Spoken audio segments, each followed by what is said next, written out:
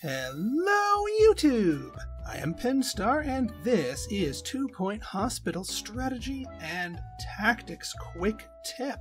So, today I am going to be doing another one of my room builds, and the room in question, the research room. Uh, I meant to actually do this one a long time ago, but I never got around to doing it. But here it is now. Now, the research room is flexible in terms of how you build it. Uh, while it does have a minimum of 4 by 3 you can certainly build it larger. And yes, I've seen screenshots of some people that build a ginormous, you know, building filling research room with a billion supercomputers and just get an insane rate of research. You can do that. That's not what we're going to cover today. Today, we're going to take the bare bones minimum shape and show you a way to get the most out of it. Um, so first things first, we got ourselves 4x3. Now the builds that I like to do here will generally have the door on the narrower side on either of these two, so not in the middle. Um, but they should be viable on console because you can just put it on the square space. It doesn't re rely on being uh, in like any of the half spaces here. Right then, so over on this side, um, what we want to do is uh, take our research pod and actually flip it around this way. We want it pointing towards us. It it automatically makes enough room for people to scooch over and get to it, so you don't need to worry about it um, blocking access. Now, you also need a researcher's desk. This one I like to put up against the door like this and hold control um, to just make sure it's like right there. Perfect. Um, now, if you're just starting out a level and you don't have a lot of money and you just need to get some research rolling, maybe it's a, a new uh, clinic type that you need to get up, this right here is fine. Uh, obviously, you can put in a couple of uh, temperature fixers if needed, um, but otherwise, if you just need to get some trickle of research going, there's nothing wrong with doing a room like this. Um, yeah, I do like to have my research rooms, um, uh, my research doctors made in pairs, though, regardless of how much or few. And yes, you don't actually need a second researcher's desk in order to employ a second research doctor. I have tested that. But let's say it's a little bit further on and you've got some money to burn and you want a higher rate of research return. Well, there's two different items available to you. The servers, which uh, cost 10 grand a piece and give you a 1% boost in research power, and then the supercomputers, which are uh, 20 grand a piece and give you a uh, 2% research power. Now, the one thing they don't really tell you about these two things is that they generate heat with a capital H. These things put out monstrous amounts of heat. So, we're going to have to compensate for that regardless of what temperature the general hospital is. Um, so, let me show you what I like to call the double rack stack. Uh, where we can get the most out of these while not frying your research doctors alive. Um, so we're going to start over here, um, use the fine controls to nudge this right up against the desk like that. And yeah, let's rotate here. Uno, dos, tres, Quattro. You're aiming for four on that side.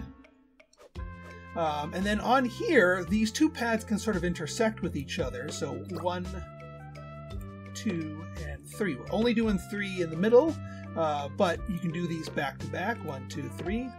One, two, three. And then another four on this side over here. Now, I can tell you right now, this is going to definitely boost our research, but it's also going to make the heat nightmarishly hot. Like you can even see it radiating out the room a little bit. Uh, so any scientists that you employ in here are going to get roasty toasty, and that's not good. Uh, they'll be unhappy, they'll be less productive, and yeah, we, we want to take care of that. So we couple of items to take care of that.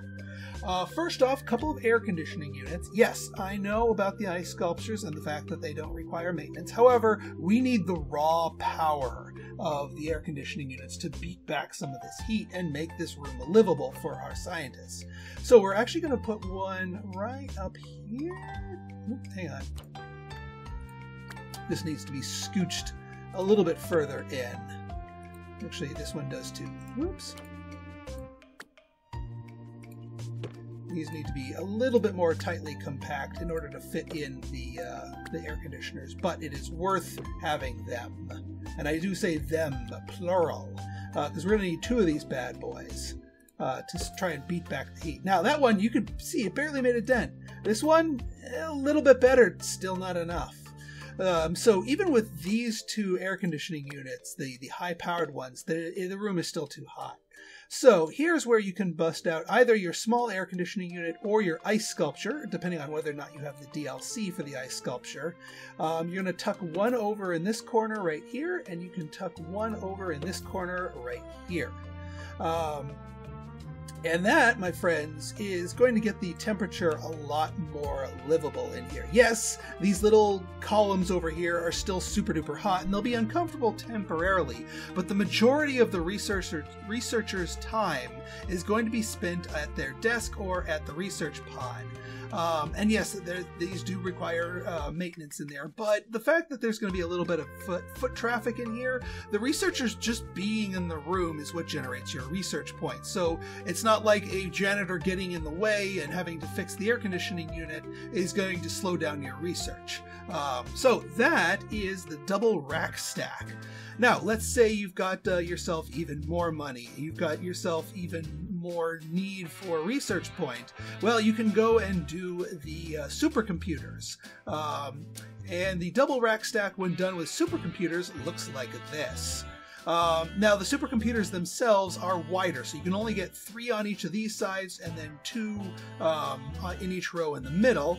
We still need uh, copious amounts of uh, air conditioning, and in fact, because these things put out a little bit more heat, you do need to use the small air conditioner and stack two of them here just to beat back the the the, uh, the heat. Otherwise, the heat will overwhelm the room. Um, but this, uh, each of these are twice as powerful in terms of boosting research as the uh, server racks over here. Uh, so uh, now each of these are going to run you about 200 grand or more. Um, so don't don't ever do these like right at the beginning of a level. Um, and then one last tip: this is a lot of people know this, but I figure I'd uh, I'd mention it. If you are playing the campaign, um, once you've gotten uh, Mitton University, you can go back to older levels and have your research rooms research new tech that you need that is needed. That way on brand new levels you don't need to spring for a new research room. Now, if you're playing some of the early levels where you just need that research room, or if you're playing Sandbox with none of the researches already unlocked, then you're going to want to do this. Uh, but again, it's 200 grand plus, so make sure you've got enough money in the bank before you spring for these monstrosities. That said, you can get tons of research points from these. So I hope the double rack stack um, is uh, helps your uh, hospital get the research points it needs uh, to get the tech it needs. If you guys like this episode and you want to see more like it, go ahead and hit that like button, hit that subscribe button, and leave me a comment. Good, bad, or indifferent, your feedback is always welcome. So until next time, this has been Pinstar, signing out. See ya!